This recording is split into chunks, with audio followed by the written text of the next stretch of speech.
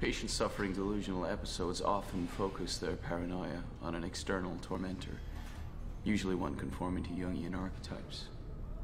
In this case, a scarecrow. Therapy. I want my own First thing tomorrow, then. tonight. As you wish. This way, please. There's something I think you should see.